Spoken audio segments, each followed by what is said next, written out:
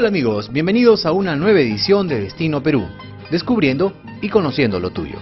El día de hoy presentamos al distrito de Pampacolca, conocida como la cuna de la libertad de América.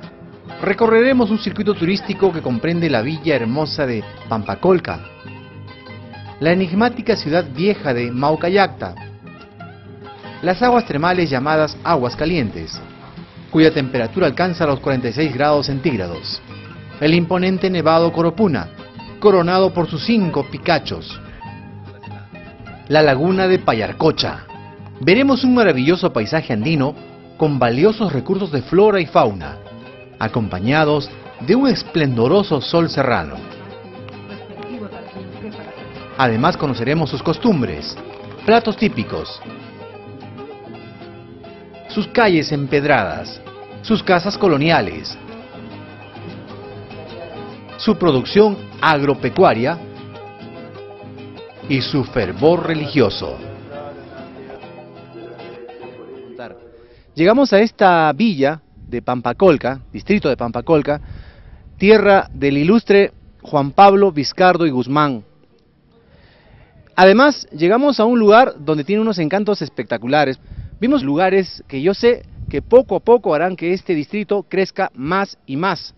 Y nosotros prometemos en esta hora de programa mostrarles esto y por supuesto temas más importantes que les va a encantar. Amigos de todo el país, amigos que nos ven a través de internet en www.destinoperú.net y también lo pueden hacer en YouTube. A propósito, allí podrán ver pronto el especial completo de Pampacolca, este distrito, esta villa encantadora. Bueno, soy Miguel Milla y sin más palabras, solo me resta decirles, relájense, pónganse cómodos y disfruten a continuación en Destino Perú, conociendo y descubriendo lo tuyo, Pampacolca, la villa que realmente todos tienen que conocer. Para llegar al distrito de Pampacolca, todo el equipo de producción de Destino Perú viajó desde Lima hasta Arequipa. Desde la Ciudad Blanca, casi de inmediato, abordamos un bus que nos llevó a la provincia de Castilla, rumbo a nuestro destino final, Pampacolca. Este trayecto duró aproximadamente 8 horas. Llegamos por fin a este rico distrito, poseedor de una natural belleza, raza, lengua, tradición y costumbres. Pampacolca se encuentra al noroeste de la ciudad de Arequipa y está ubicado a una altura de 2.950 metros sobre el nivel del mar y se llega a él a través de 245 kilómetros de carretera, de los cuales 190 kilómetros son de pista asfáltica.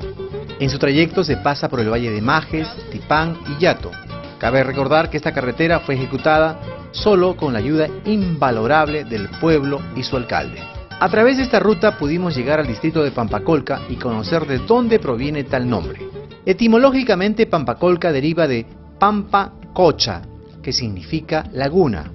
Esta parece ser la más acertada, ya que la actual Pampacolca era una laguna que luego se secó y fue poblada por los fundadores que eran españoles, Anteriormente, en la época pre-inca, la población pampacolquina estaba ubicada a 12 kilómetros en un lugar llamado Maucayacta, Pueblo Viejo, que actualmente es un centro arqueológico de gran importancia. El distrito de Pampacolca es uno de los 14 de la provincia de Castilla, perteneciente a la región Arequipa, Perú.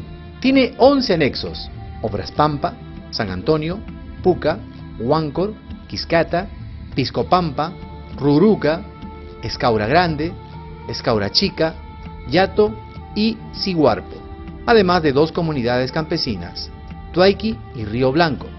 La Villa Hermosa de Pampacolca está situada a los pies del Nevado Coropuna y cuenta con alrededor de más de 8.000 habitantes. Pampacolca es una población de sierra, de formación típicamente colonial, El trazo de la ciudad es similar a la de Arequipa. Consta de 14 calles transversales y 9 longitudinales, formando una cruz.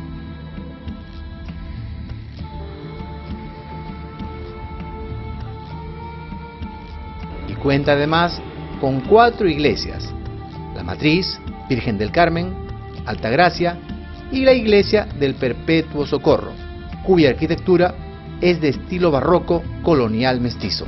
Este distrito tiene aproximadamente 443 años de fundación, puesto que no se sabe la fecha exacta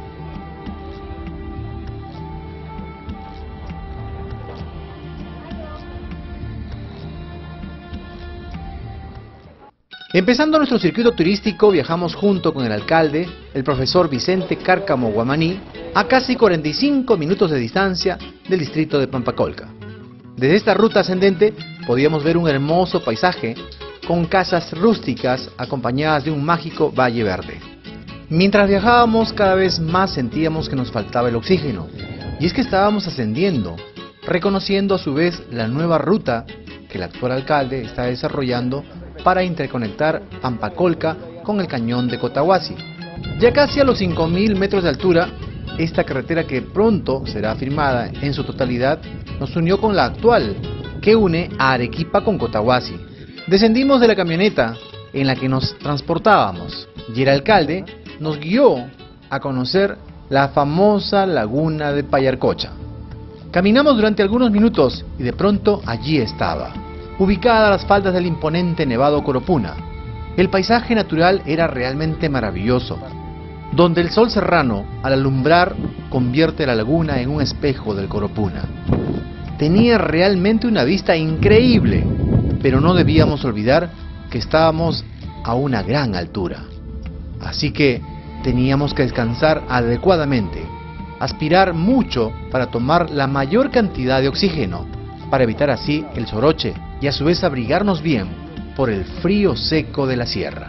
Para nuestra sorpresa nos encontramos con dos turistas extranjeros que estaban acampando en la laguna de Payarcocha con el objetivo de escalar el gran nevado Coropuna. Ellos nos contaron sus planes y expectativas.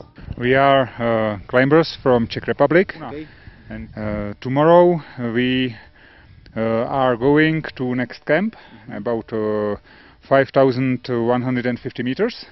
Uh, stay here one or two night and uh, we would like next go to uh, summit. Después de.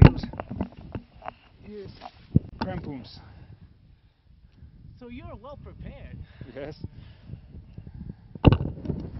Hi, Destino Peru. Hay destino Perú. Okay, okay. De regreso a Pampacolca, visitamos las aguas termales llamadas también aguas calientes, cuya temperatura alcanza los 46 grados centígrados. Contiene sales de azufre y fierro, y son muy recomendadas para curar enfermedades cutáneas y reumatismo. En la actualidad cuenta con un pequeño pozo termal, donde algunos turistas asisten a darse un buen chapuzón.